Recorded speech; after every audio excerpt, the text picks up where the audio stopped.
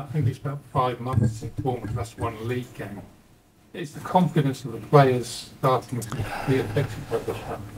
Uh, at the end, we knew, no, we had a, a, tough schedule in the beginning of the of the season, but this today is the first day that I really finished. Like we we were not at the level, no, that the the opposition required us. It's true that Arsenal has they've played really well. They are a very very good team, and we have to be really really good if we have if we want to to to compete. But uh, I, I will take the that the start of the game we started we lacked a little bit of the, the, the aggressiveness to regain position high and we started to get tired we couldn't uh, be so so dangerous no? Saw Arsenal winning the ball quite high up, especially second half. A lot of the talk will be on Arsenal's attacking play, but Mikel's team, you know, how highly do you rate them in terms of how difficult it is to play through? I think they are a very, very good team out of possession. Very, very good team because they have the very good players they have.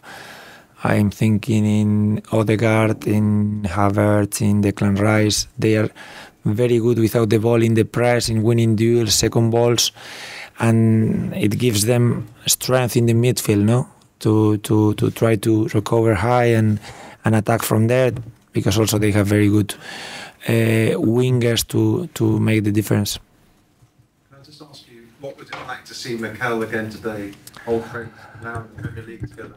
Yeah, once the game starts, you forgot about these things. You focus on the sporting side. I congratulated him, and uh, I will just talk to him right now as, as soon as I, I finish. But uh, during the game, at the end, you, you forget about these things.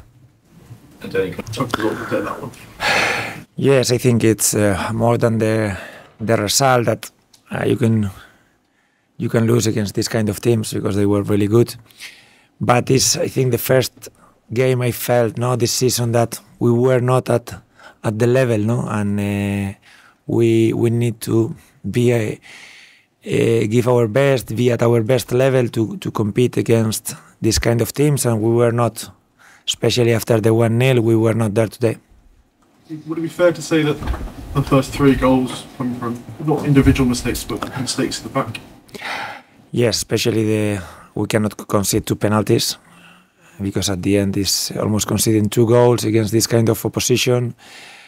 Uh, and also first goal is a bit strange. I don't think he tries to finish Gabriel Jesus. It's a rebound, but we should be there.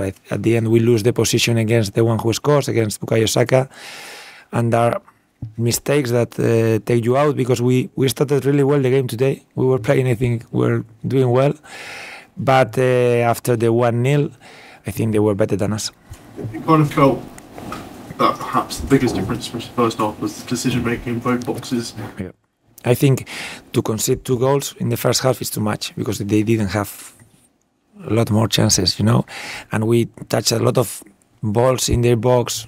I remember one from Dom, from Phil, from Ryan, and uh, they were really good. They defended really well. I think they blocked almost everything, and even we were close, but we we didn't have the the final product. No it might be quite naive to say, but it kind of feels like sometimes there's too many touches in the box that the shots become earlier. I know you, you said about sometimes you have to attack in different ways.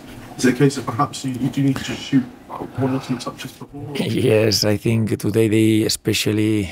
Uh, I remember uh, actions in the first half where we had the chances to shoot, to shoot. It's true that they were blocking. They had the the, the players covering and uh, especially I remember a couple of ones from Gabriel, very good defensive actions, but uh, were, were, they were real real chances for us, but we we we couldn't even. I remember one save that Raya has made at the end, but we didn't even uh, make them uh, create these saves. Does it kind of knock the team's confidence that performance and result? I think it's the the first time I felt like we were not you know, at the level that the, the, the competition required.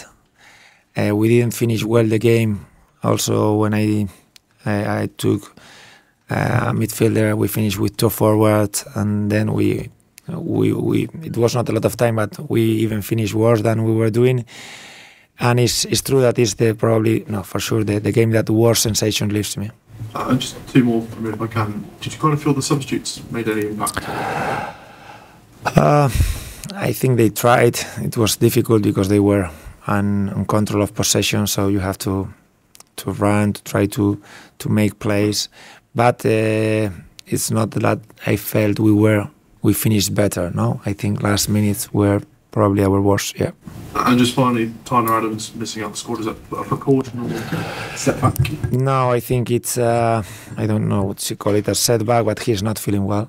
He's not feeling well, and he has been out for a lot of time. So we have to to reassess, to to I don't know how you say it, to reset, to take the good decisions, thinking in in in in everything. But it's true that he's he he's gonna be out for for some time for sure. Yeah. Is that the same like same injury issue?